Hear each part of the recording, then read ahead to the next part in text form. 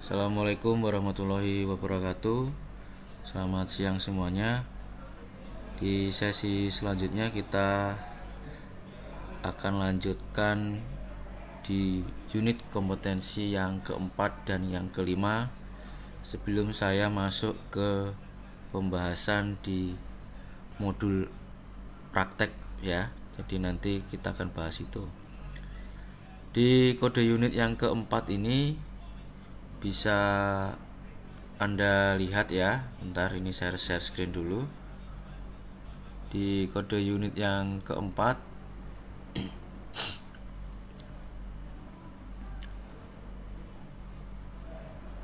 Sudah terlihat ya yaitu melakukan identifikasi ya pipa penyalur yang mana terdapat empat elemen kompetensi yaitu yang pertama adalah melakukan identifikasi pipa penyalur dan komponennya. Jadi tidak hanya pipa saja ya tetapi itu ada komponen pendukungnya penunjangnya. Kemudian yang kedua melakukan identifikasi jenis material pipa penyalur.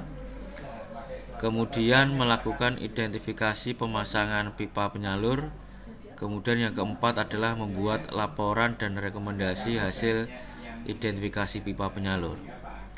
Kemudian yang pertama bisa kita lihat yaitu melakukan identifikasi pipa penyalur dan komponennya ini ada dua kriteria unjuk kerja yaitu jenis pipanya atau tipe pipanya ya kemudian segmentasi, kemudian dimensi pipanya berapa, fluidanya di dalam pipa penyalur berapa, tekanannya berapa, kemudian temperatur kerja pipa penyalurnya gimana. Berarti ini uh, jenis atau type atau segmentasi jadi nanti Anda membahas mengenai scope-nya. Jadi scope-nya Anda pakai code apa? Ya, itu harus jelas sehingga nanti Anda uh, untuk penentuan langkah-langkah selanjutnya itu jelas kalau Anda sudah mengetahui skop ataukah ruang lingkup B31 kah, B311, B313, 14 ataukah yang lain. Kemudian yang kedua yaitu adalah hasil identifikasi pipa penyalur dicatat pada laporan inspeksi. Jadi langkah ini harus dicatat di laporan inspeksi. Kemudian yang kedua yaitu jenis material pipa penyalur diidentifikasi. Tadi Anda kan sudah mengidentifikasi dokumen, ya kan? Anda sudah mengidentifikasi dokumen. Dokumennya itu kan pada di dokumen apa itu ya? Verifikasi dokumen tadi kan ya. Anda sudah ada. Nah, kemudian Anda kan juga verifikasi terhadap uh, mil certificate materialnya ya. Jadi ini nanti dari data tersebut anda verifikasi apakah material tersebut sesuai dan Anda laporkan dan Anda catat ya dan Anda laporkan di laporan inspeksi. Nah, apakah materialnya A53 ya, A106 ataukah yang untuk pipeline IP5L grade berapa? Nah, itu harus jelas jenis materialnya. Kemudian yang ketiga yaitu adalah pemasangan pipa penyalur di atas permukaan, di bawah tanah, dan di bawah air.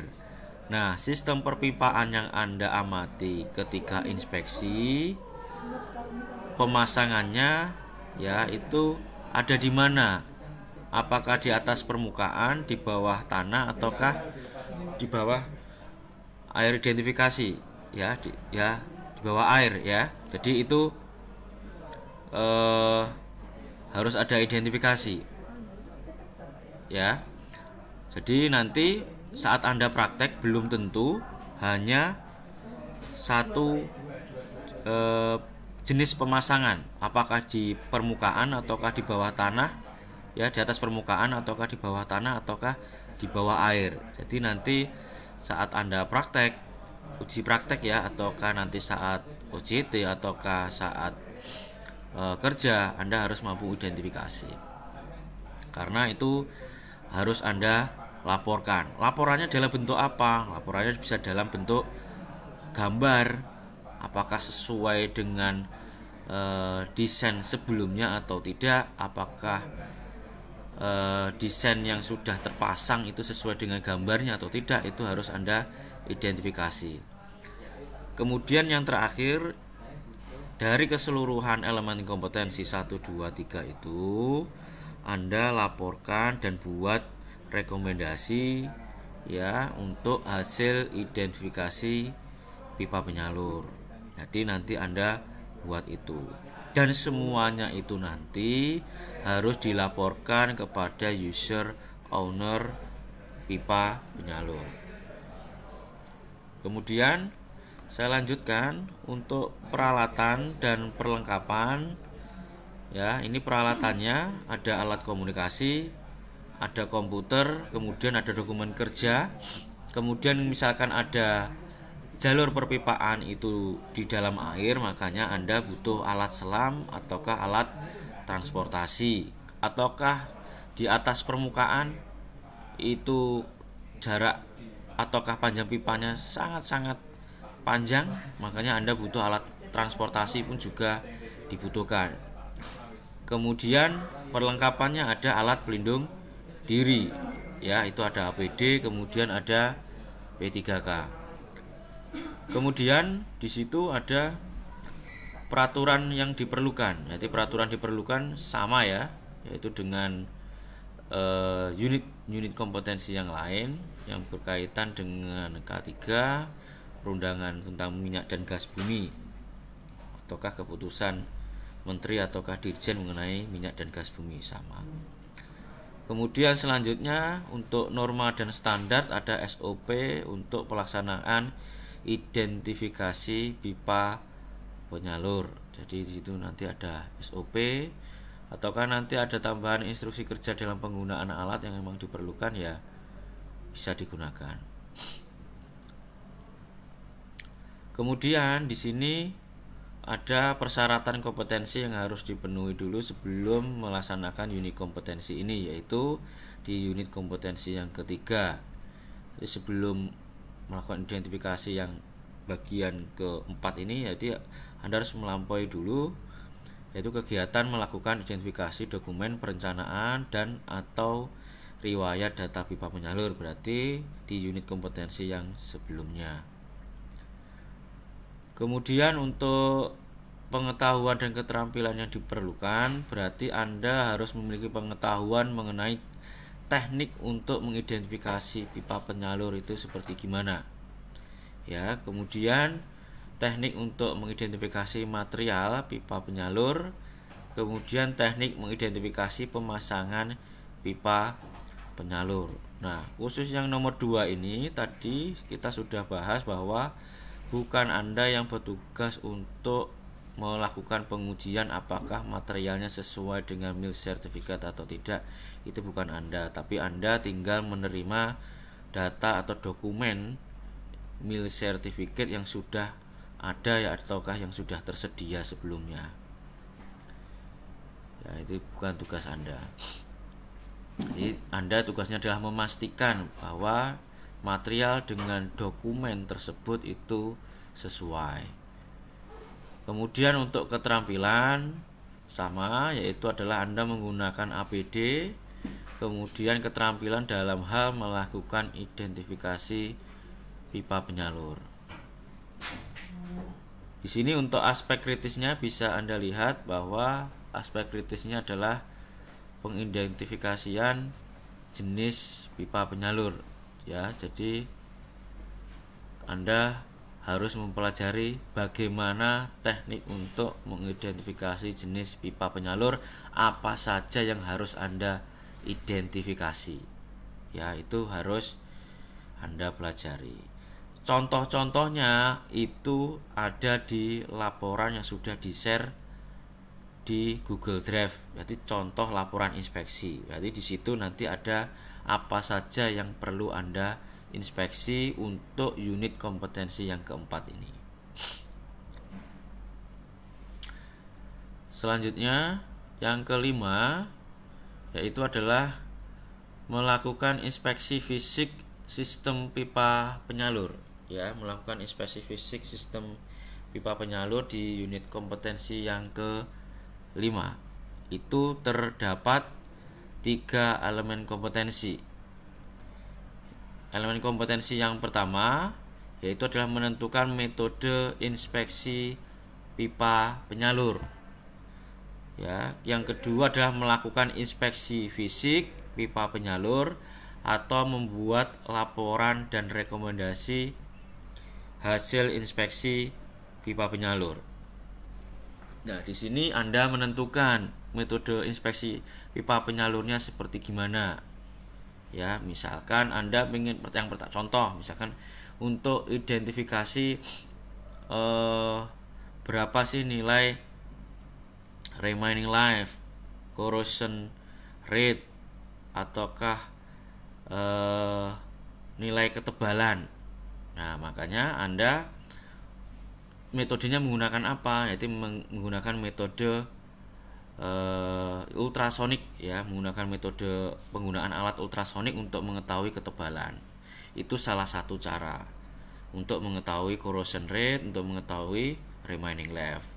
Tetapi ada jenis yang lain untuk mengetahui itu selain menggunakan uh, metode wall thickness ya masih ada yang lain. Ya jadi untuk pengujian skala lab untuk pengujian korosi itu ada. Ya jadi untuk metode yang mudah dan cepat itu adalah menggunakan metode menggunakan wall thickness. Jadi misalkan fluidanya ataukah sistem perpuluhannya masih beroperasi itu masih bisa kita kerjakan menggunakan metode ini. Kalau kita menggunakan metode skala lab ya kita harus menggunakan sampel. Nah itu kan harus e, memerlukan waktu yang lebih lama. Ya. Kemudian yang kedua dalam hal melakukan inspeksi fisik pipa penyalur yaitu kondisi fisik pipa penyalur itu diperiksa. Apakah kondisinya dalam keadaan baik atau tidak? Contohnya misalkan oh coatingnya pipanya dalam kondisi baik, oh mengelupas, itu harus Anda catat dan Anda laporkan. Oh ternyata ada pipa yang eh, tidak terawat sama sekali, misalkan itu pipanya robek. Ada saya masih nemui seperti itu, ada pipa yang robek dan jarang dikunjungi, jarang di maintenance, yaitu tidak tahu ternyata ada pipa yang robek atau pecah ya itu perlu Anda laporkan. Ya. Kemudian apalagi misalkan eh, ada eh, perpipaan ya, pipanya misalkan eh, dari coatingnya mengelupas tadi muncul adanya korosi itu Anda laporkan. Jadi eh, semua apa yang Anda lihat yang di, di lapangan secara visual itu Anda laporkan. Misalkan eh, jalur mana yang Anda mau ukur nilai ketebalannya itu nanti Anda laporkan. Ya. Dari laporan dari ketebalan aktual itu nanti Anda sesuaikan dengan eh, minimum required wall thickness sesuai dengan code yang Anda pakai apakah nilai ketebalannya masih memenuhi atau tidak berdasarkan code yang dipakai itu Anda cross check apakah tebal aktualnya lebih besar dibandingkan T minimum? Itu Anda cross check ya itu adalah data yang harus Anda uh, laporkan. Walaupun kenyataannya nanti misalkan bukan Anda yang mengukur di lapangan Anda terima datanya seperti itu ya Anda laporkan. Kemudian misalkan coatingnya mengelupas tadi ataukah terlihat coatingnya terlihat berbeda dengan uh, sisi yang lain misalkan oh anda mau ngecek nilai ketebalan coating itu boleh silahkan itu merupakan salah satu metode untuk menginspeksi fisik pipa penyalur dari kedua elemen kompetensi tersebut anda laporkan ya dalam pembuatan laporan dan rekomendasi. Laporannya itu nanti jadi satu tetapi di dalam satu laporan tersebut terdiri dari beberapa item unit kompetensi tadi dan rekomendasi. Itu semuanya Anda laporkan dalam bentuk satu laporan. Kemudian peralatannya ada alat komunikasi kemudian ada peralatan inspeksi kemudian ada alat tulis ada komputer kemudian ada dokumen kerja ya ada dokumen kerja. Butuhkan. Kemudian perlengkapannya ada APD kemudian ada obat-obatan P3K peraturan yang diperlukan sama ya. Kemudian norma dan standar. Nah, ini cukup banyak ya, yaitu ada SOP mengenai teknik pemeriksaan fisik sistem pipa penyalur. Berarti setiap apa pun kegiatannya itu ada SOP-nya. Ya, jadi kita mengikuti dari SOP tersebut. Kemudian misalkan suatu perusahaan punya SPM standar pelayanan minimum ya itu jadi norma dan standar ya yang ada di sini kemudian eh, standar prosedur K3LL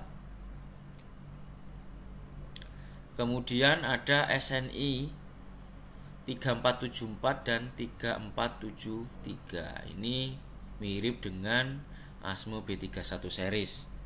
Ya. Kalau Anda ketahui untuk gas ya, jadi 3474 ini sama dengan asma B318 ya, kemudian SNI 3473 transportasi pipa penyalur untuk cairan hidrokarbon dan cairan lain mirip dengan asma B314. Jadi nanti sama, tapi ini di ini anu ya menggunakan standar nasional Indonesia. Jadi kontennya ya mirip lah ya. Kemudian ada beberapa uh, recommended practice, API recommended practice. Kemudian ada uh, standar yang lain itu bisa Anda lihat ada API 570, ya ada API RP 571, 574, 577, ya ada EPS 1104 dan lain-lain bisa Anda lihat di sini. Ya, di sini bisa Anda lihat selain tadi rujukannya menggunakan standar nasional Indonesia juga menggunakan eh, ASME B31 series juga. Yaitu 314 318 jadi di atas tadi juga mewakili. Ya kemudian bisa anda lihat yaitu eh, asma section 5 asma section 9 yang kaitannya dengan e, pengelasan ya dan pengujian nah di sini bisa anda lihat bahwa ada asma section BPVC untuk boiler pressure vessel ya Kenapa kok masih bisa digunakan untuk pipa? Karena pipa itu kalau Anda lihat di halaman depan sampul dari asma B31 series itu adalah pressure piping.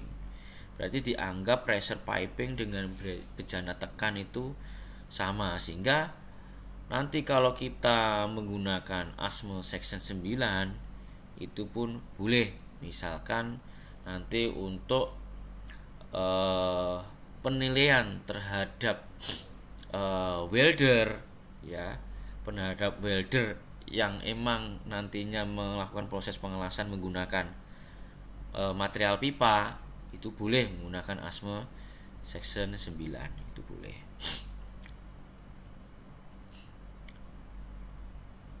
selain kita menggunakan ini uh,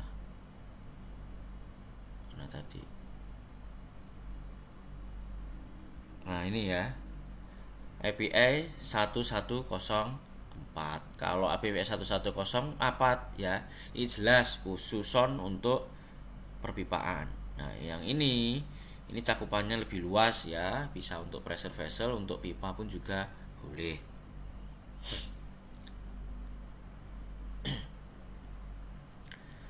Nah, selanjutnya banyak lagi ya, hampir 50 ya, hampir 50 code standar norma yang ditampilkan di sini ya. Jadi bisa Anda lihat.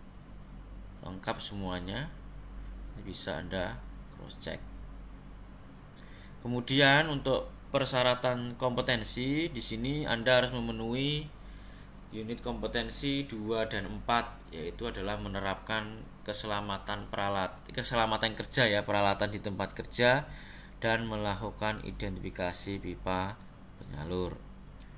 Kemudian pengetahuan dan keterampilan yang diperlukan yaitu yang pertama pengetahuan adalah Anda mampu menentukan metode inspeksi, kemudian teknik melakukan inspeksi fisik pipa penyalur, ya, kemudian teknik penggunaan peralatan inspeksi, kemudian teknik membuat laporan dan rekomendasi hasil inspeksi. Walaupun Anda di sini hanya menerima data dari uh, personal A, personal B, personal C, tetapi Anda di sini juga ha harus bisa ya walaupun nanti Anda tugasnya adalah hanya menerima data saja. Tapi nanti kalau misalkan suatu saat Anda diperlukan untuk di apa ya, untuk diperbantukan untuk ikut serta, ya Anda pun juga bisa. Kemudian keterampilannya adalah menggunakan APD, menggunakan peralatan inspeksi, misalkan Anda menggunakan ultrasonic wall thickness gauge, Anda ya harus mampu menggunakan itu. Kemudian dry film thickness eh coating thickness gauge ya kalau anda mau melakukan itu ya berarti anda harus mampu menggunakan peralatan inspeksi tersebut oh ternyata eh, apa itu jalur perpipaan saya itu berada di dalam air ataukah di atas atau di dalam tanah ya oh berarti anda harus apa misalkan oh saya memerlukan cross check mengenai eh, tingkat keasaman tanah tingkat keasaman air menggunakan pH meter. Bagaimana cara penggunaannya? Ya, Anda harus tahu penggunaannya. Nah, jadi walaupun Anda nanti hanya menerima data, tapi kalau Anda emang disuruh untuk itu, Anda harus mampu. Ya, saya harap di tempat OJT Anda sudah ada, misalkan sudah ada yang pernah mencoba, sudah pernah melakukan untuk penggunaan alat inspeksi. Entah itu coating, thickness gauge ataukah wall thickness gauge ya ataukah pH meter ya ataukah peralatan inspeksi yang lain. Ya ini peralatan inspeksi yang dimaksud ini adalah peralatan inspeksi yang berkaitan dengan perpipaan. Berarti bukan hanya untuk pengelasan saja. Ya jadi kalau pengelasan kan pada umumnya kan menggunakan non destruktif ya untuk pengujiannya ya untuk eksamen eksamennya ya itu bisa menggunakan itu mau PT, MT ya. Sejenisnya yang anda ingin gunakan untuk pengujian uh, jalur pengelasan di jalur perpipaanmu ya yang tanpa menghentikan jalur perpipaanmu saat beroperasi. Ya, anda kalau non destruktif seharusnya dulu di ilmu pengetahuan bahan kan anda sudah dapat yaitu kalau emang anda lupa anda buka lagi untuk laporan e, praktikumnya dulu ya. Jadi bisa anda pelajari kembali. Karena itu sangat penting sekali. Karena pengalaman saya ketika mengikuti ini ya anda ini kita ini ya kita ini itu harus menguasai materi yang benar-benar basic dulu sebelum mengikuti ini. Kenapa? Karena cenderung untuk eh, SKKNI ini untuk inspektur penyalur ini cenderung ke pembuatan laporan verifikasi dokumen saat di lapangan. Jadi tidak dalam hal segi teknis ya. Kalau segi teknis harus anda kuasai sebelumnya ya. Harus anda kuasai sebelumnya. Berarti Anda harus menguasai teknik pengelasan kemarin. Sudah, ilmu pengetahuan bahan pastinya nanti pengujian-pengujian pengelasan kan sudah. Berarti itu sudah anda uh, kuasai dulu sebelum ini. Sehingga nanti misalkan di lapangan anda dibutuhkan untuk tugas tambahan ya anda bisa menguasai itu ya jadi anda di sini Anda sudah siap. Nah, kemudian untuk aspek kritisnya itu ada pemeriksaan kondisi fisik pipa penyalur yaitu berarti Anda disuruh untuk praktikumnya berarti ya. Ini berarti Anda disuruh memeriksa langsung kondisi perpipaan yang ada di lapangan. Jadi ini kalau di unit kompetensi ini berarti ini tidak hanya sekedar teori saja berarti harus Anda terjun ke lapangan ya sambil nanti Anda bisa menentukan berapa nilai wall thicknessnya. Misalkan Anda disuruh berapa nilai coatingnya ataukah jenis yang jenis uh, inspeksi yang lain nah itu adalah uh, pembahasan uh, SKKNI 242 2014 unit nomor 1 sampai unit yang kelima. Jadi uh, itu yang bisa saya sampaikan untuk yang SKKNI selanjutnya ini nanti akan kita bahas ya mengenai uh, modul yang berkaitan dengan SKKN ini ataukah yang akan Anda akan Anda kerjakan nanti ketika Anda melakukan ujian tulis, ujian praktek maupun wawancara.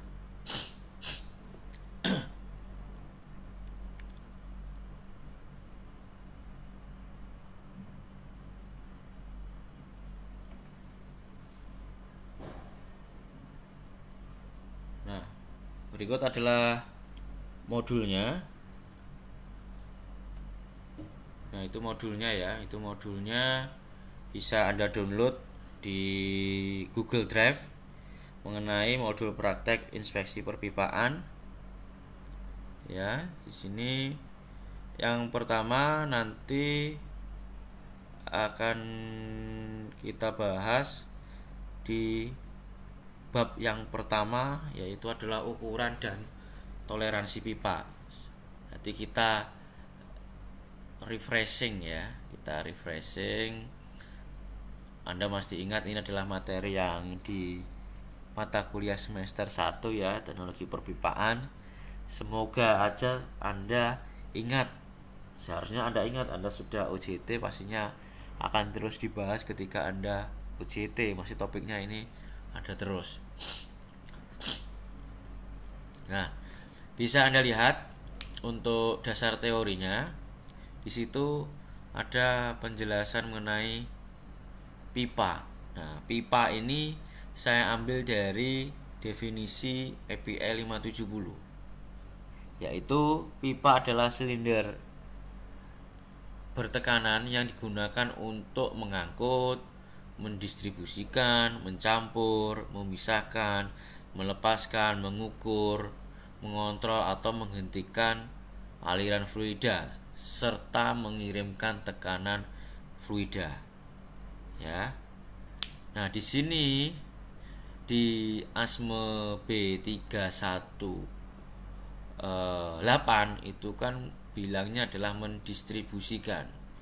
Di situ distribusi gas Berarti yang dimaksud di sini EPL 570 itu distribusi ini adalah dengan fluida gas kemudian mengirimkan mentransmisi itu adalah fluidanya liquid and slurry.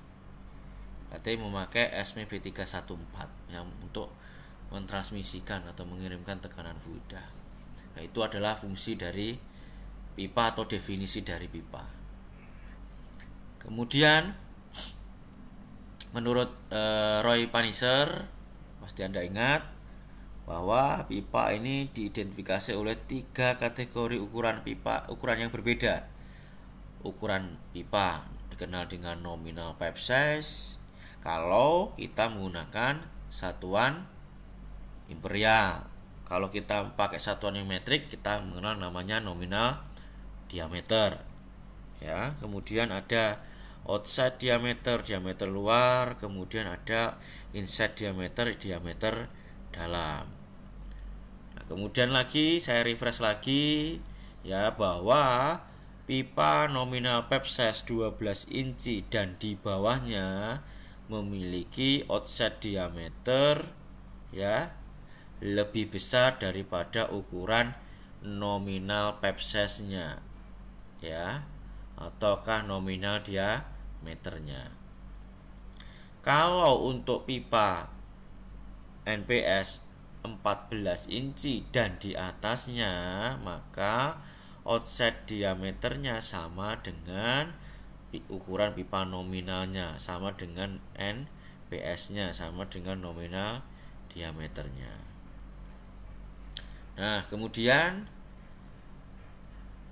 kita bahas lagi ya, itu untuk perihal ketebalan. Nah, ketebalan itu di pipa itu ada dua jenis, yaitu ada definisi mengenai schedule, ada definisi mengenai weight. Ya, kan ada schedule ya, ada schedule 5, ada 10, ya, 40, 80 dan lain-lain. Nah, di sini ada weight. Weight ini memakai metode yang lama. Ya. Kalau dulu pipa dengan metode yang lama untuk untuk mendefinisikan ketebalan ya, itu metode lama yaitu adalah STD ya ada standar ada XS ya extra strong dan double extra strong XXS nah seharusnya anda masih ingat. Nah kemudian ini ada pipe dimension gambarnya ya mana yang inside diameter mana yang outside diameter bisa anda lihat dan di sini adalah antara inside diameter dan outside diameter ini adalah wall thickness. nah, kemudian di gambar 2 mengenai pipe thickness uh, based on weight standar extra strong double extra strong. Kalau Anda lihat dengan pipa ukuran sama, ini contohnya adalah ukuran 6 inci, maka nilai offsetnya adalah 6,625 mau standar mau extra strong mau double extra strong ya offset diameternya itu sama yaitu 6,625 standar extra strong double extra strong yang membedakan adalah nilai ketebalan yang berubah adalah nilai inside diameternya ya bukan offset diameternya tapi yang berubah adalah inside diameternya jadi standar weight extra strong, double extra strong. Yang berbeda adalah inside diameternya. Semakin e, besar nilai ketebalannya maka inside diameternya semakin kecil. Lihat pada gambar yang double extra strong ya, dia ukuran diameter dalamnya semakin kecil. Nah, kemudian untuk mengetahui standar apa yang kita gunakan untuk mengetahui nilai nominal diameter nominal ketebalan eh, kemudian nilai dimensi yang lain yang berkaitan dengan pipa yaitu kita bisa ngecek di ASME B36.10 ya kalau material kita adalah rock steel carbon steel kita pakainya ASME B3610 kalau kita memakai material stainless steel kita bisa pakai asma B36.19 itu boleh. Tapi kalau anda pengen ringkas walaupun tidak selengkap asma ya standar asma ya lebih ringkas yaitu ada di IPL 574 untuk mengetahui nilai nominal diameter dan dimensi yang lain yaitu ada di EPL 574 Nah, di tabel bawah bisa Anda cross check. Di sini ada tabel tabel 1 dan tabel 2. Ya, di tabel 1 ini di ASME B3610 yaitu weight of welded and seamless rock steel pipe. Ya, model tabelnya seperti ini. Dulu mungkin Anda sudah pernah buka, ya semoga aja sudah pernah buka atau Anda terapkan di perusahaan di tempat Anda UJT ya bahwa di sebelah kiri ya itu e, memakai MPS yang sebelah kanan ada diameter nominal ya nanti model tabelnya seperti ini di sini ada data outside diameter kemudian wall thickness yang dipakai. Kemudian ada data nilai ketebalan based on weight ataukah schedule. Nah ini anda bisa lihat. Dengan NPS berapa? Misalkan ini NPS setengah ya kemudian schedule 40 maka dia memiliki ketebalan adalah 0,109 inci ya jadi ini nilai ketebalan ketika dia memiliki schedule 40 kemudian yang EPL 574 yang ada di bawah ya yaitu bisa Anda lihat model tabelnya seperti ini. Silahkan Anda mau pakai yang atas atau yang bawah itu silahkan. Tapi yang tabel nomor 2 ini mirip dengan tabel pada ASMO B36.19. Kenapa? Karena materialnya adalah stainless steel. Ya, materialnya adalah stainless steel. Nah, apa yang membedakan? Nah, yang membedakan bisa Anda lihat kalau Anda masih ingat, yang membedakan adalah keterangan pada schedule. Ya, keterangan pada schedule. Kalau material work steel, carbon steel dan sejenisnya itu schedule-nya tanpa ada penambahan huruf S. Ya, tanpa ada penambahan huruf S. Kalau material Anda stainless steel ada penambahan huruf S di belakang angkanya. 10S, 40S, 80S, dan seterusnya. Ya, itu yang membedakan antara stainless steel dengan material yang lain. Sama juga B3619 itu juga schedule-nya muncul S di belakang angka. Ya, itu sama. Jadi mau pakai 574 boleh, 3610, 369 pun juga boleh. Jadi kita jangan terlalu mengandalkan menggunakan software. Anda kami ajarkan Anda melihatnya itu dari sumbernya asli langsung saja. Saran saya seperti itu. Dari ASME, dari API pun boleh. Nanti bisa Anda cross check. Nah, kemudian di bawahnya lagi yaitu dari segi manufaktur, Anda ingat dulu di teknologi perpipaan bahwa segi manufaktur itu ada pipa yang dibuat atau dimanufacturing secara seamless tanpa sambungan ya. Kemudian menggunakan welded. Welded mau mau butt welded atau spiral welded. Nah itu kan tipenya welded nah itu seharusnya anda masih ingat. Nah yang membedakan dari kedua jenis manufacturing tersebut yaitu adalah nantinya berkaitan dengan mil tolerance toleransi ketebalan jadi toleransi pabrik dari manufakturnya. Nah itu ada formulanya dari EPL 570 ya bahwa nilai T minimum seamless adalah 0,875 kali T nominal atau dikurangi 12,5 persen dari eh, 100 persennya. Kemudian T nominal untuk welded ini ya dikurangi 0,010 inci ya. Jadi ini untuk yang welded nah ini lebih lengkapnya. Nanti bisa anda lihat di sini di APL 570 ataukah di APL 574 ada di situ. Ya ada tabelnya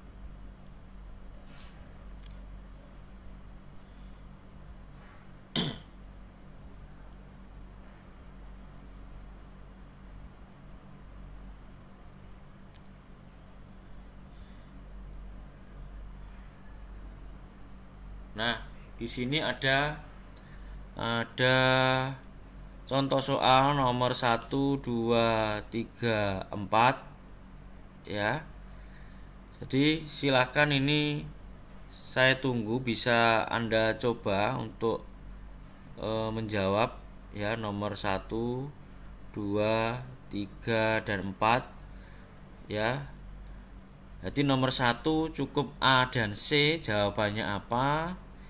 Ya, kemudian yang nomor dua itu adalah yang A dan D. Ya nomor 2 A dan D. Jadi satu itu A dan C nomor 2 A dan D. Kemudian nomor 3 ya nomor 3 itu boleh yang AC kemudian nomor nomor 3 sabar 1 2 3 saja udah. Itu aja. Silahkan nanti anda dicoba. Nanti saya akan bertanya untuk jawabannya ke Anda. Nanti untuk pengerjaannya 15 menit saja jadi kisaran pukul 13.45 nanti akan saya tanya. Nanti berapa apa jawaban dari nomor 1 2 1 2 3 tersebut. Oke, saya tunggu. Silahkan mengerjakan dulu.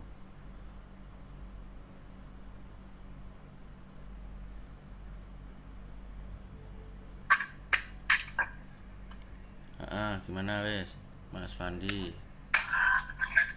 ya untuk yang satu A sama C ini kan uh, schedule-nya standar untuk yang OD-nya niku 60,3 mili lalu yang D niku uh, bisa diameter dari 8 inci niku 202,203,2 eh 202,8 mili pak Nah, di sini ini ya.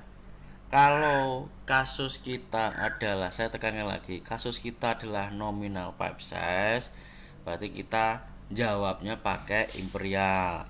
Kalau kita statusnya menggunakan satuannya ya, satu satuannya menggunakan nominal diameter, kita pakai metrik. Nah, jadi kalau nomor satu offset diameternya NPS 2 berarti Anda jawabnya berapa inci? Ya. Yang C inside diameter nominal pipe size 8 berapa inci nah itu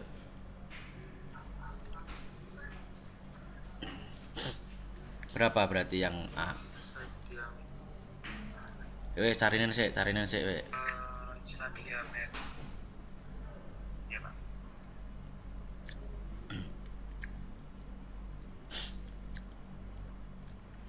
ada yang mau jawab yang lain nomor yang lain? Mau nomor 2 nomor 3 silahkan. Nomor 3 kan tadi berapa nilai nominal untuk nominal work thickness ya NPS 8 schedule 80 itu berapa uh, nilai work no, apa nominal work thicknessnya untuk NPS 8 inci schedule 80 nah itu berapa Nah, kemudian nominal wall thickness untuk NPS 12 extra strong itu berapa? Jadi silakan ada yang mau jawab. Ataukah nomor 2 ya. Nomor 2 kan berapa uh, nilai OD NPS 6 furnace tube tube made to a pipe spec. Yang D berapa nilai outside diameternya? NPS 2 furnace tube tube is made to a tube spec nah ada yang mau jawab nomor 2 AD nomor 3 tadi A dan C. Mana Fandi? Yang nomor satu sudah belum?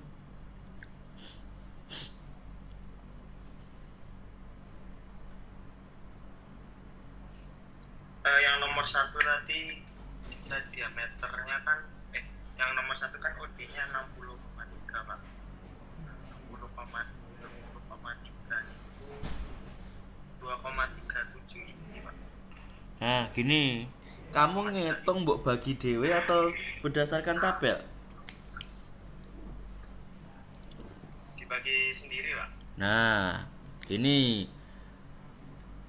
Perhitungan berdasarkan tabel apa berdasarkan tabel ataukah perhitungan manual itu beda ya.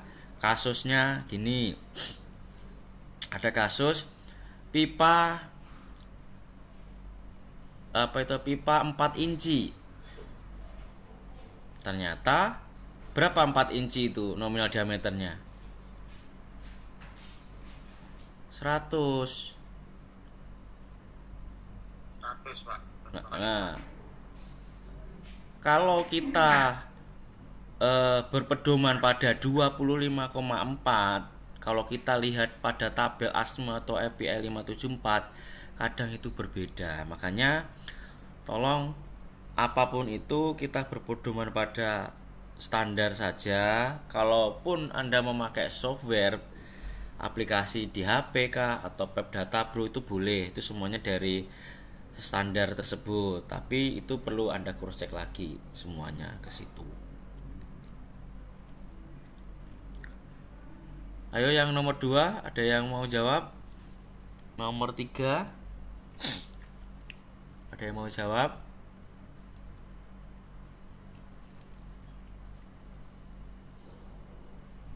Izin masuk Pak. Siapa ini? Farhanul Pak. Oh iya Farhanul. Mau jawab nomor berapa Mas Farhanul? Nomor 3 Pak. Untuk nominal wall thickness NPS 8 schedule 80 itu 0,5 in. 0,5 in. Nah, ini Anda lihat dari standar apa? ASME B3610. 3610. Oke. Mau jawab lagi atau dilempar ke teman yang lain? Yang nomor 3. Lempar aja Pak. Ayo yang lain, yang 3 sing urung berarti 3C. Siapa yang mau jawab 3C?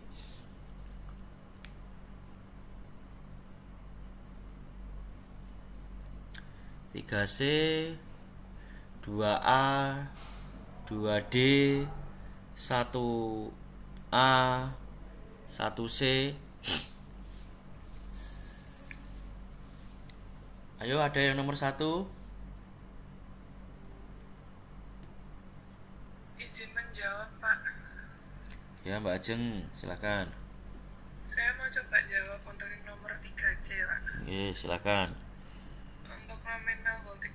Untuk nominal volt thickness NPS 12 itu yang extra strong itu nominalnya 0,5 inci, Pak. Sama ya, 0,5 ya. Ambil dari mana?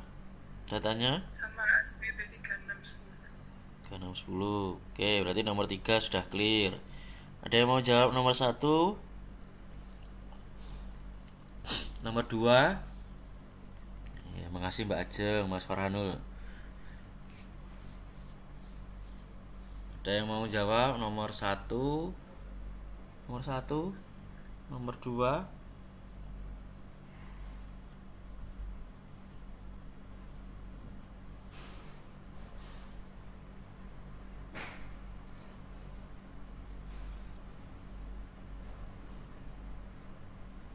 Ayo nomor satu, nomor satu kan ya gampang toh.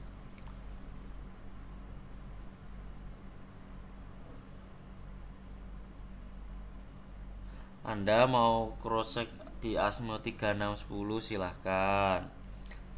Ya Anda mau cross check di IPL 574 silahkan Anda mau cross check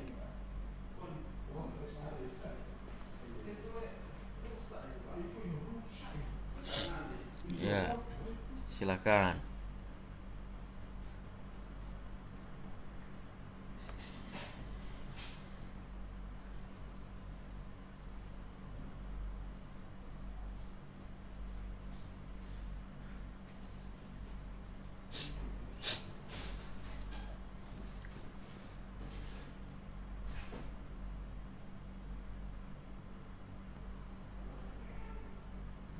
gimana ini ini siapa ini yang masuk ya mau ini pak izin mau melengkapi yang satu C yang satu C itu yang NPS 8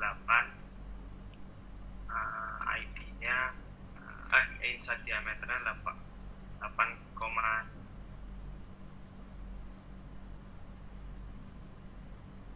Duh, kok hilang? Putus. Ayo yang nomor satu. Ada yang punya jawaban. Nomor 1A nomor 1C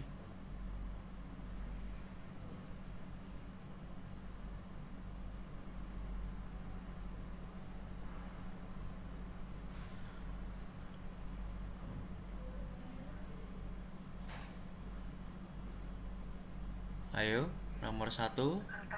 Pak izin, Bapak izin bertanya Pak. Ya, Ini saya lihat di standar EDA 574 Pak untuk mengecek eh, inside diameternya itu Mm-mm. disesuaikan dengan schedule-nya Pak. Nah itu bagaimana Pak kalau untuk menentukannya?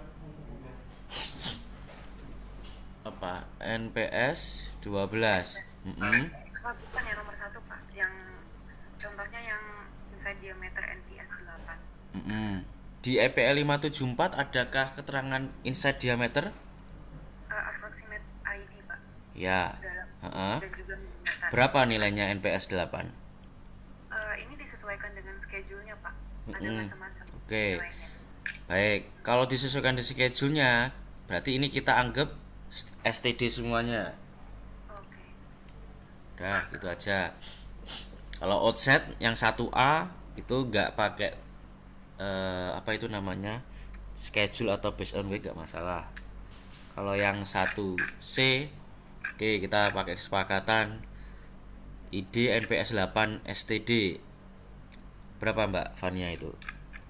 7,981 inch Pak. 7, 9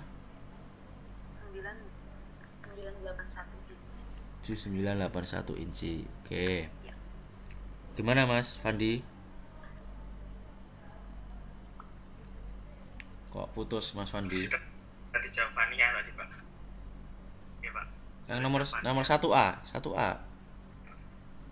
1A belum. C tadi pak yang tujuh Oh iya 1A, 1A, iya 1A belum kan ya?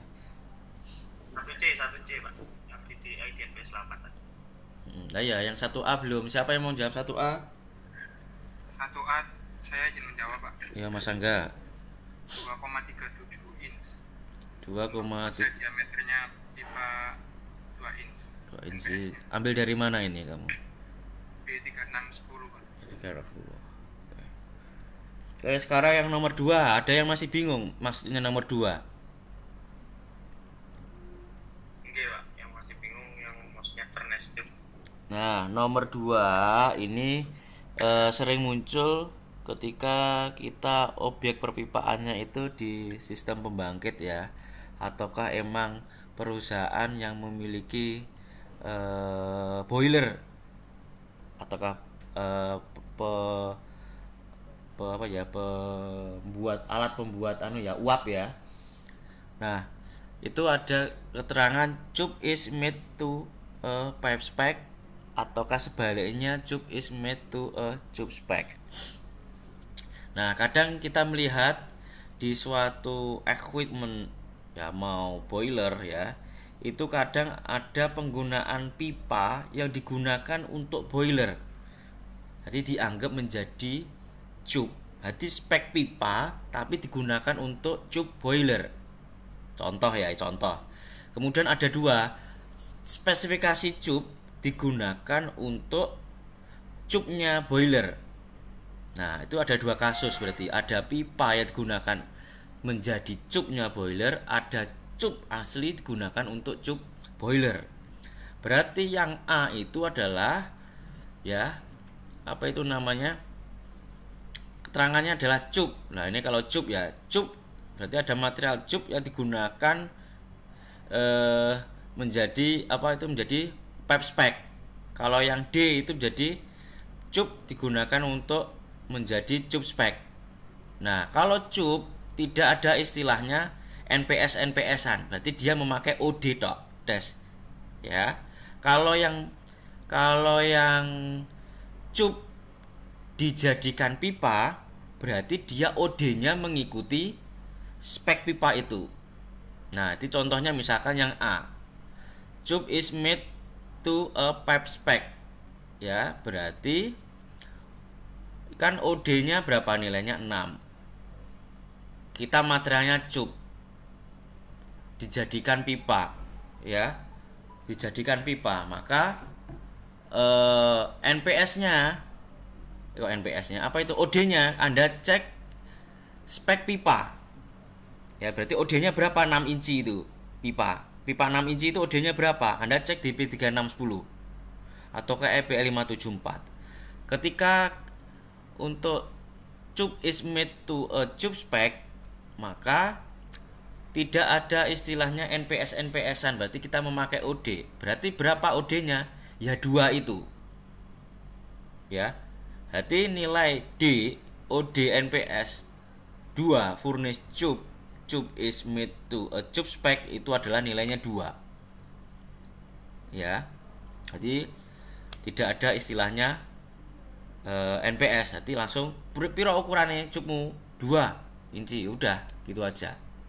Tapi yang A dari cup di dadakne pipo nah berarti cupnya itu mengikuti pipa speknya. Begitu sebaliknya ada pipe spec to cup spec ya itu ada. Jadi ada tiga jenis cup dadekne cup dewe ya kemudian eh, cup didadekne pipo ya pipo didadekne cup. Nah ada seperti itu. Jadi kita tinggal eh, cross check pada standarnya. Kalau yang cup ya tidak ada NPS ya. Jelas atau belum yang saya maksud? Ya eh, izin ini pak. Ngulangi lagi. Berarti kalau misal eh, cuk misal nanya Mm-mm. cuk berapa? Misal Mm-mm. dua Mm-mm. itu langsung ikut ke ukuran Pak? Iya, langsung ngikutin ukuran. Nah, digunakan untuk apa dulu? Cupmu itu kamu gunakan untuk apa? Saya untuk untuk anu, untuk cup, dijadikan cup, eh, boiler cup. Nah, itu langsung gitu. Tapi kalau Anda gunakan material cup, Anda gunakan untuk selain peruntukan cup, maka itu Anda harus mengikuti pipe spec.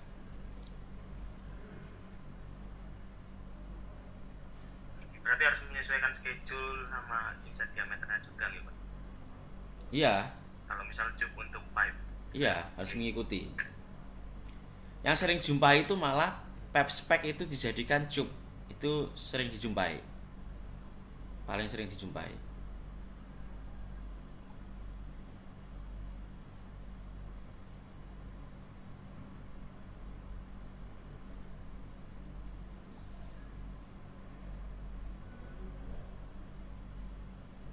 Eh, berarti untuk yang Jawabannya 2,375 in gitu Pak. Yang mana? Yang yang D yang D dua Yang ya 2D. 2D. Cup dijadikan cup ya. Berapa nilai OD-nya? Eh apa itu nama cup? 2,375 Ya cup jadikan cup ya. Dua. Gitu dong.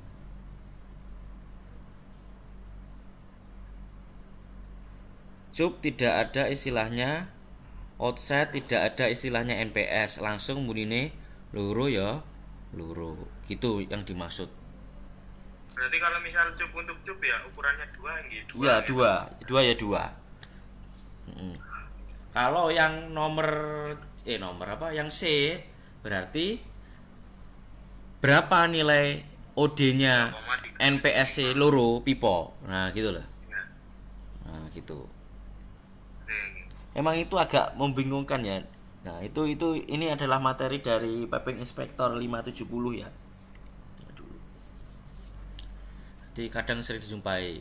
Nah itu kalau yang model seperti ini jarang banget dijumpai di anu di migas ya. Tapi cenderung banyak dijumpai kalau industrinya proses ataukah eh, pembangkit.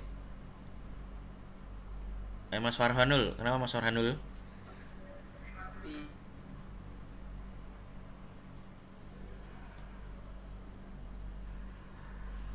Kok ngilang? izin bertanya pak oke Iya. itu pak itu apa ya pak untuk mengetahui well thicknessnya gitu gitu Gimana? Gimana? Eh, untuk cup sendiri itu standarnya ikut apa gitu pak untuk kita bisa mengetahui well thickness dan lain-lainnya gitu Nah, gini. Eh cup saya ngikutin orang sipil ya orang sipil itu juga pakai cup untuk air panas. Kemudian juga mereka menggunakan material yang non logam juga. Selain karbon steel ya non logam misalkan PVC kemudian PPR, PEX mereka cenderung ngikutin katalog mas dari manufaktur. Ya. Jadi eh, kadang saya menemui cup itu eh, bilangnya cupnya setengah ya tapi dia manufakturnya nulisnya 16 mili. Gitu loh. Jadi kita mengikuti dari data manufakturingnya saja. Kalau untuk cup tapi cup itu belum tentu dia anu loh ya belum tentu dia bentuknya tembaga loh ya. Berbahan karbon steel pun juga ada loh. Ya jadi kalau kita lihat dengan kasat mata itu sangat susah sekali. Kalau dengan sama-sama materialnya karbon steel makanya kita perlu cross check menggunakan mil certificate ya mil certificate-nya dia materialnya apa? Baru kita cross check di ASMO oh ternyata dia material tube oh ternyata dia material pipe. Itu kalau kita cross check lebih lanjut. Kalau misalkan dimensinya berapa sebenarnya kita bisa cek di Asun P3610 itu sebenarnya juga bisa. Kalau materialnya dia sama-sama Brock steel, carbon steel itu 3610 bisa tapi kita kita cari formnya dulu. Kan formnya di asmo kan ada form plate ada bar ada pipe ada tube. Anda cross check ya. Di asmo section 2 boleh asmo B31 eh B3 B3610 Anda cross check dia formnya apa ataukah Anda uh, sudah pernah membuka tabel A1 asmo B313 di situ ada formnya formnya bar, cup, plate, pipe. Nah, itu perlu Anda cross check. Sehingga di situ Anda cari single certificate A berapa misalkan. Anda cross check di standar tersebut. Oh, ternyata formnya ini adalah ini. Wong di ASMO section 2 atau ke ASMO B31 uh, basic allowable stress tabel A1 ya, itu ada keterangannya. Apa itu namanya? Selain keterangannya form itu ada namanya apa itu? Lupa saya. Bentar tak bukakan dulu.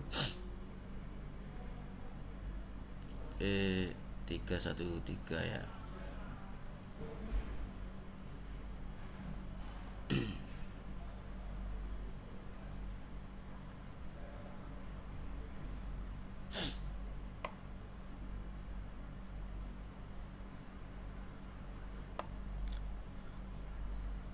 ada keterangannya juga apa itu namanya? Seamless ataukah welded ya ada keterangannya. Sudah kelihatan belum? Belum ya? PPT anu ini kelihatan belum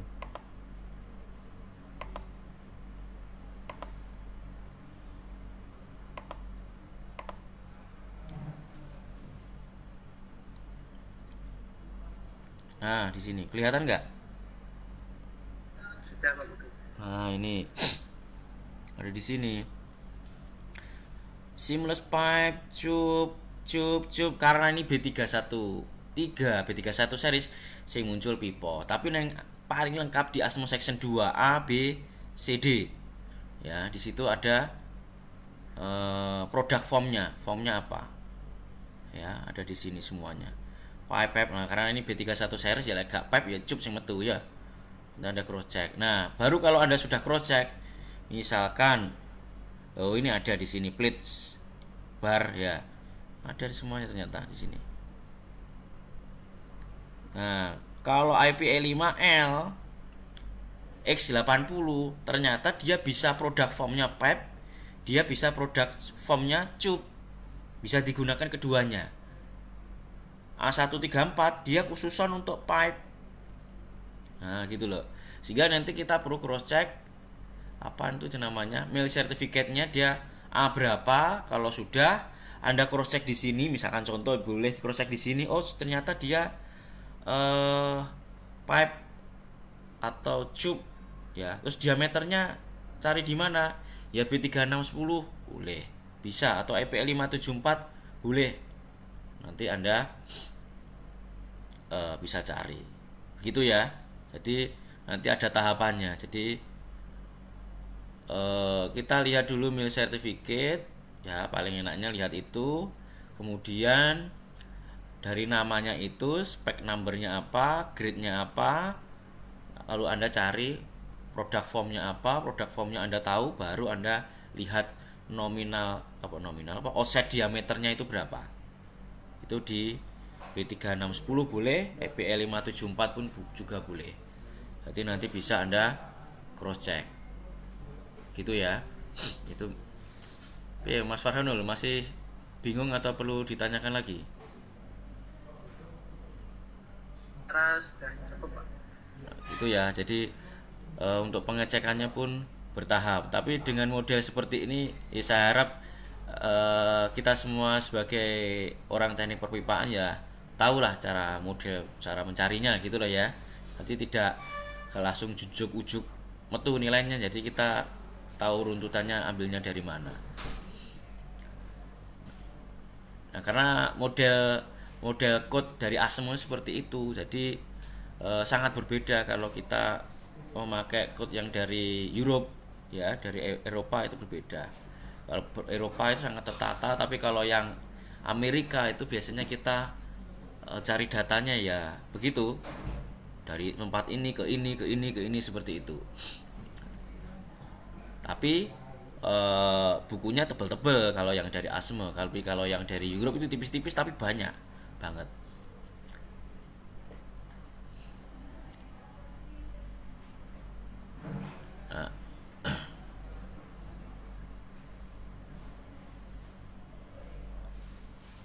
Oke, saya lanjutkan.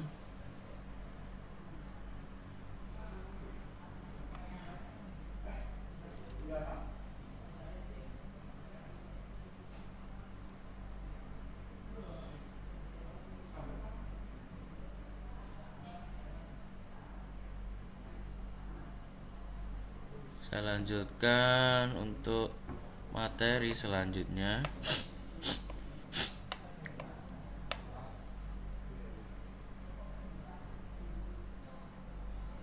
ini saya lewati saja nanti bisa anda baca lagi.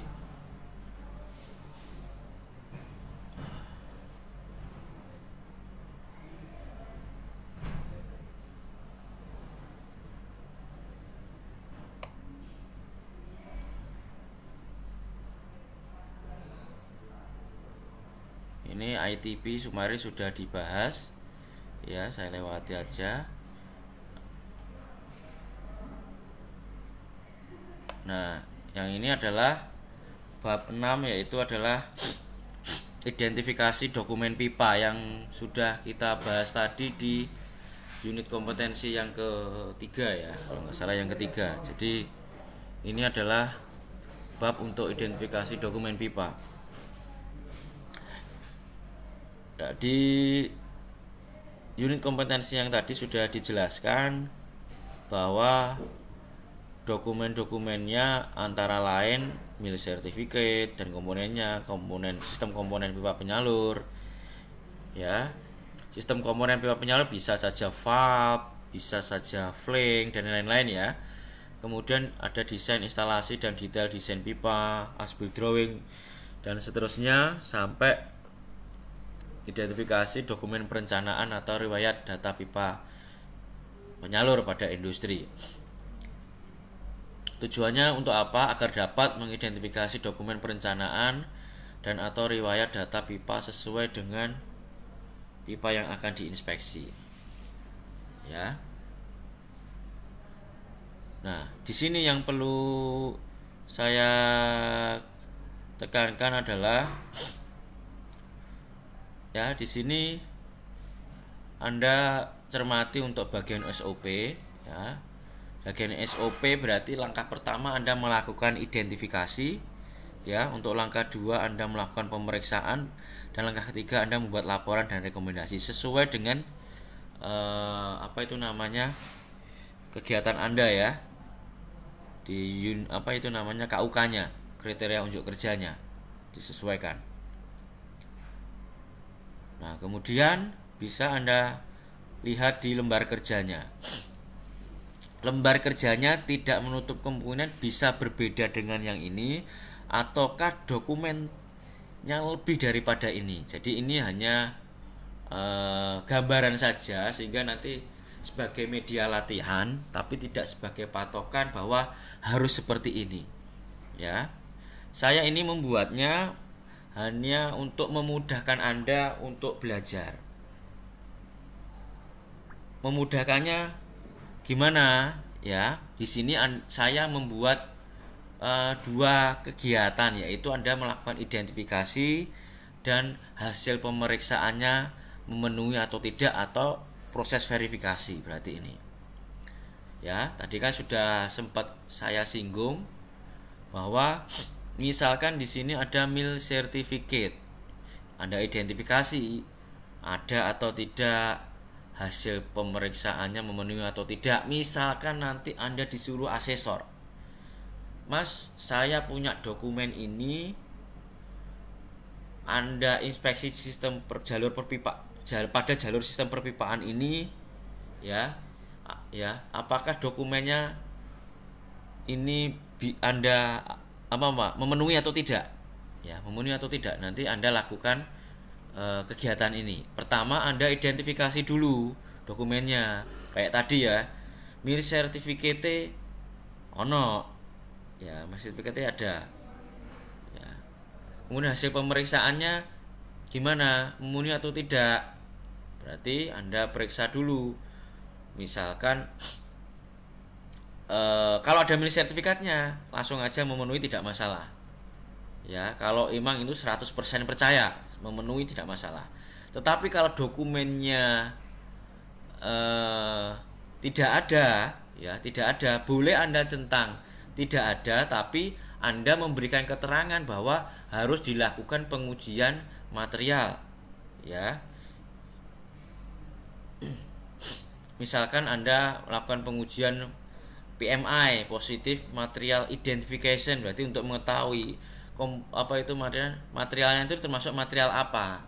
Misalkan oh seharusnya itu materialnya A106 ya harus e, dites. Bener nggak ini A106 tidak. Serta merta mereka bilangnya ini materialnya A106 loh. Gitu ya. Tapi harus ada dokumen buktinya. Misalkan sudah ada e, mil sertifikat ya langsung ada memenuhi. Tapi kalau Anda sebagai inspektor e, ingin datanya detail, Anda identifikasi dokumennya ada, Anda cross check kembali menggunakan alat untuk mengidentifikasi benar nggak itu materialnya. Bisa saja data Anda ada tapi tidak memenuhi, bisa saja kalau hasil pengujian dengan mil sertifikat itu tidak sama. Apalagi Anda menjumpai material-material yang manufakturnya? Mohon maaf misalkan kurang jelas. Dari mananya? Nah saya dulu juga pernah beli material raw material itu dari uh, luar negeri. Ya dari luar negeri ternyata produknya tersebut kualitasnya sangat-sangat buruk. Ya kualitasnya sangat-sangat buruk jadi ya mau dikatakan material tersebut ya enggak jadinya. Ya jadi perlu e, berhati-hati ya. Karena nanti suatu ketika misalkan terjadi suatu kesalahan yang disalahkan kalian. Kalau misalkan anda identifikasi verifikasinya juga tidak benar. Gitu loh ya. Paling amannya seperti itu ya. Jadi double layer. Milik sertifikat ada pengujian ada. Itu paling aman. Tapi kalau Anda sudah percaya untuk milik sertifikat saja, semua memenuhi pun juga nggak masalah. Tapi kalau emang dokumennya nggak ada, makanya Anda perlu berikan rekomendasi di keterangan bahwa perlu dilakukan pengujian komposisi material. Boleh nanti tinggal memenuhi ataukah tidak memenuhi.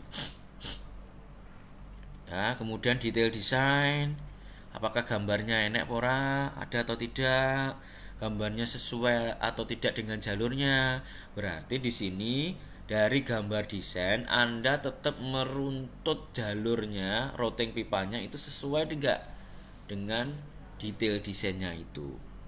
Ya, itu harus harus di Anda lakukan gitu loh ya. kemudian sertifikat personil ada fitter, welder, ND examiner ataukah personil yang lain ya identifikasi dokumennya Anda cross check Pak apakah Anda memiliki sertifikasi kompetensi yang masih berlaku? Ya tanda kutip ya masih berlaku untuk dari Bapak ya untuk melaksanakan penugasan ini. Misalkan Anda cross check oh sertifikatnya ada. Yes, ada emang ada. Perlu anda verifikasi. Verifikasinya adalah apakah tadi sudah saya jelaskan ya orangnya sama atau tidak dengan sertifikatnya. Verifikasinya dengan gimana? Dengan cross check ID card bisa atau ke ID card yang KTP atau ke ID card yang lain ya boleh. Kemudian apakah sertifikatnya masih berlaku atau tidak? Jangan-jangan sudah kadaluarsa. Nah itu anda cross check. Kalau kadaluarsa wonge podo tapi kadaluarsa berarti dokumennya ada tapi tidak memenuhi. Nah, itu perlu Anda cross check. Itu ketika Anda melakukan inspeksi pada nantinya ya jalur baru. Biasanya seperti itu. Inspektor apa misalkan examinernya, welding inspektornya, weldernya itu memenuhi atau tidak. Nah, itu tugas Anda sebagai cross check kemudian WPS-nya, PGR-nya. Nah, kadang saya sering menjumpai perusahaan itu jarang banget mereka menyediakan lengkap WPS dari sistem perpipaan yang ada di tempat mereka. Ya, dengan mereka tidak memiliki itu, misalkan terjadi maintenance dan perbaikan di area pengelasan dari pipa apa ke apa ke mana-kemana itu akan fatal karena harus sesuai dengan WPS-nya kalau tidak sesuai itu ya pastinya akan berubah lagi. Karena kenapa? Di WPS itu kan ada ada variabel kan? Supplementary ya esens esensial ya. Esensial non esensial ya seperti itu. Misalkan itu terjadi perubahan akan terjadi pembahasan lagi.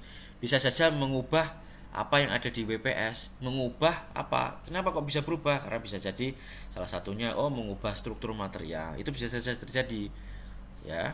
Salah satu faktornya. Masih banyak faktor yang lain. Mengubah jenis proses pengelasan dari SMAW neng neng TV neng GTAW misalkan. Bisa saja berubah. Tergantung. Apakah proses pengelasan itu esensial atau non esensial itu ada di materi building inspector ya. Itu bukan anda sebenarnya itu di building inspector. Nah itu perlu cross check di jalur sistem perpipaan itu apakah memiliki dokumen tentang WPS ataukah PGR karena saya masih sering jumpai juga seperti itu ya mohon maaf gitu loh. Perusahaan tidak memiliki itu boh pokoknya asal masang pipo iki neng pipo iki mbok iki materiale podo gak podo ya elektrodanya apa berapa nilai arusnya voltasenya berapa ya. Lah itu sudah berubah-berubah itu kan tidak mengikuti BPS kan pun ya takutnya nanti akan e, mempengaruhi sifat atau struktur material gitu loh ya. Itu kan semuanya sudah diatur di ASMO seksi 9 gitu loh ya. Itu ada semuanya. Nah kemudian ada sistem proteksi korosi. Ya itu apakah ada sistem proteksi korosi atau tidak? Gitu loh anda cross check. Sistem proteksi korosi misalkan coating kah ICCP kah SACP kah ataukah yang lain? Nah itu perlu anda cross check ya. Dokumennya ada atau tidak. Kemudian data riwayat pemeriksaan dan perawatan. Pastinya eh, pihak perusahaan itu diharuskan kan memeriksa dan melakukan perawatan secara berkala kan. Tidak mungkin dibiarkan begitu saja dengan jangka waktu yang sangat lama. Pastinya memerlukan pemeriksaan dan perawatan. Dengan melakukan pemeriksaan dan perawatan kan itu kan bisa menguntungkan kalau ya. Karena kalau sampai terjadi uh, uh, filer itu kan pastinya akan merugikan perusahaan kan? Takutnya nanti kan trip kah ataukah menghentikan pengoperasian produksi kan itu kan sangat merugikan sekali. Kalau sering dilakukan maintenance pastinya kan akan tahu kondisi dari jalur sistem perpipaan di sistem tersebut itu e, lancar atau tidak saat beroperasi atau ada kendala atau tidak itu sangat menguntungkan ya jadi data riwayat itu sangat diperlukan untuk mengetahui kondisi-kondisi selama sistem perpipaan beroperasi sebelum dilakukan inspeksi oleh inspektor. Kemudian produk, prosedur konstruksi dan instalasi, berarti SOP SOP, instruksi kerja penggunaan alat-alatnya untuk konstruksi, prosedur instalasi konstruksi itu harus ada. Nanti harus Anda identifikasi dan verifikasi. Nah, kemudian selanjutnya dokumen berkaitan dengan Eh, dokumen lingkungan ya. Dokumen lingkungan apakah di sistem perpipaan yang baru yang akan dibangun ini atau diinstalasi ini ada dokumen lingkungannya atau tidak? Aman buat lingkungan atau tidak? Nah itu harus anda cross check dokumennya harus dokumen izin pengoperasian apakah aman untuk dioperasikan. Misalkan limbahnya misalkan nanti ada limbah limbahnya aman untuk lingkungan sekitar atau tidak. Apakah e, lokasinya aman bagi penduduk setempat. Nah itu perlu anda cross check di dokumen-dokumen yang berkaitan dengan e, AMDAL ya. Karena pembangunan suatu pabrik pastinya itu membutuhkan itu. Apalagi sistem perpipaan yang di dunia migas pastinya selain AMDAL itu kan juga harus ada izin dari Dijen Migas. Ya ada dari Dijen Migas itu harus ada izin. Itu ada ada suratnya. Ya jadi itu tidaklah mudah ya jadi untuk membangun sistem perpipaan.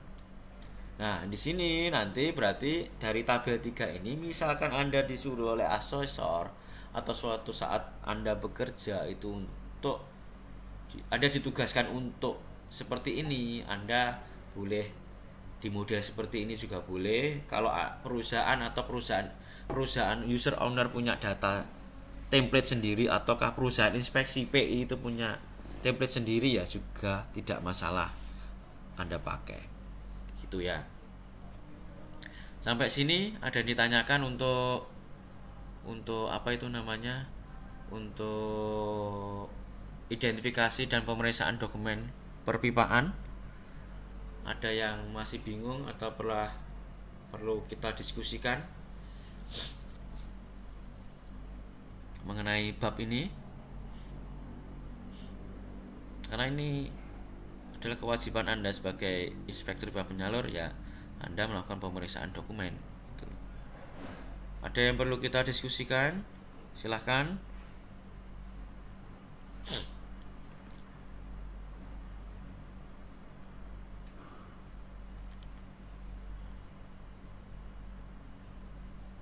Ayo ada diskusikan. Siapa sih ngomong ini? Siapa? Andi ada yang lain? Silahkan. Ada yang perlu diskusikan atau ditanyakan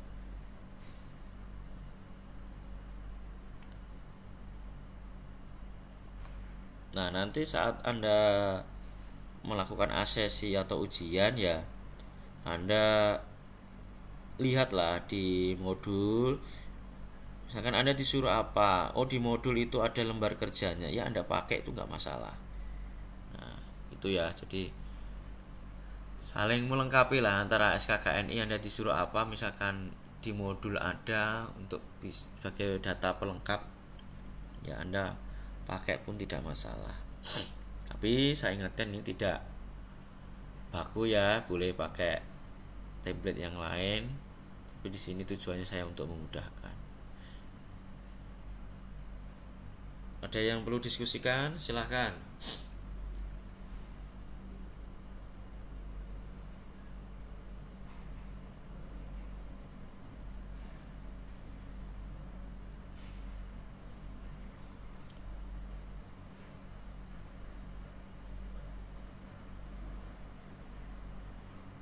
Yo, ada yang perlu diskusikan, ditanyakan?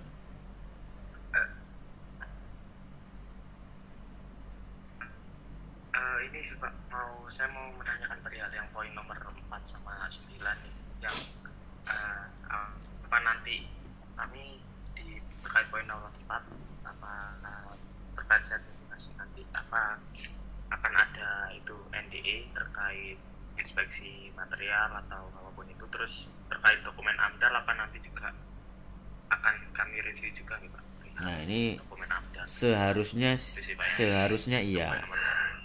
Seharusnya iya. Jadi Seharusnya. Anda harus kalau sesuai apa itu nanya aspek kritis, seharusnya Anda melakukan itu. Ya, karena itu merupakan eh, tugas utama Anda sebagai inspektor. Jadi tidak melulu Anda disuruh, "Mas, tolong diinspeksi ketebalannya pipo iki, pipo iki." Enggak seperti itu ya. Tidak hanya itu saja menurut saya ya. Jadi banyak kegiatan yang lain yang harus Anda lakukan. Tapi yang perlu Anda ingat ini nanti Anda pelajari ya dari dokumen ini apakah nanti ada atau tidak memenuhi atau tidak memenuhi. Itu yang perlu anda ingat. Jadi dua layer untuk verifikasi gitu loh ya. Jadi kor- jangan hanya dokumennya ada tidak ada. Jangan gitu. Jadi harus ada dua layer yang menjembatani itu loh ya. Sehingga dokumenmu itu untuk membuat rekomendasi itu jelas. Perlu ini.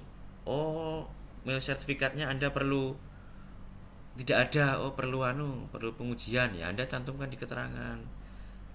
Ya ada tidak ada dan tidak memenuhi karena emang materi anu sertifikatnya nggak ada. Keterangannya bahwa per- diperlukan pengujian komposisi material. Nah seperti itu. Ya jadi nanti dalam dalam hal anda pembuatan rekomendasi itu jauh lebih gampang yang prosedur NDE ya tergantung nanti perusahaannya itu saat instalasi pipa penyalurnya ya itu menggunakan NDE apa saja. Nah, itu nanti anda mintakan SOP-nya atau prosedur NDE-nya itu ada nggak untuk pengujian itu loh nah prosedur NDE itu nanti bisa include dengan hasil NDE boleh include dengan itu nomor 4 itu bisa include. Jadi selain SOP juga ada hasil NDE misalkan diuji di join mana di line number mana itu harus jelas. Jadi itu anda sebagai inspektor ya dibuat buat sejelas mungkin gitu loh ya. Jadi anda inspeksinya itu nanti ya. Kalau untuk pipeline ya di atas tanah di, di dalam tanah ya di dalam air. Tapi kalau anda e, untuk piping inspektor ya ya bisa di atas tanah ya. Di atas tanah pastinya kebanyakan di atas tanah ataukah di e, di apa itu namanya di beam ataukah di pipe rack bagaimana nanti anda cross checknya ya anda naik. Anda naik ya. Pakai safety harness anda naik. Jadi anda naik anda cross check ya. Anda sebagai seorang inspektor gitu loh. Karena daya dulu juga saya cuma ditugaskan untuk uh, seorang pipe stress analysis analis ya analis. Disuruh ke lapangan juga sama verifikasi jalur perpipaan ya saya naik-naik sama. Apalagi seorang inspektor. Nah seorang inspektor ya harus benar-benar menginspeksi. Wong seorang eh, apa itu namanya pipe stress analysis juga disuruh seperti itu kok. Apalagi seorang inspektor ya harus berani terjun ke lapangan gitu loh. Apalagi anda sudah selesai OJT bentar lagi selesai OJT ya. Seharusnya ya sudah punya pengalaman itulah pengetahuan anda pastinya banyak lah ya.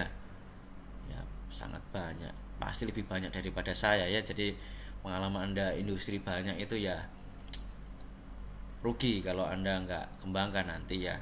Nanti anda teruskan di tempat kerja anda nantinya.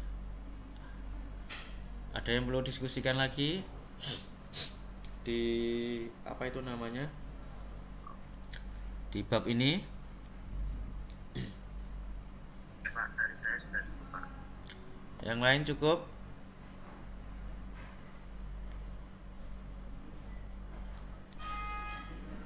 yang lain cukup Cukup, Bapak. Baik, kalau cukup kita rehat sebentar ya sampai pukul 15. Jadi kita rehat dulu, nanti kita pukul 15 join lagi di sini ya. Kita akan melanjutkan materi yang selanjutnya. Oke, silahkan iso eh, istirahat dulu lah. Ini belum belum asar, bentar lagi asar. Sudah asar belum ini ya? Belum ya. Oke, anu silakan Anda istirahat dulu. Nanti kita mulai kembali pukul 15.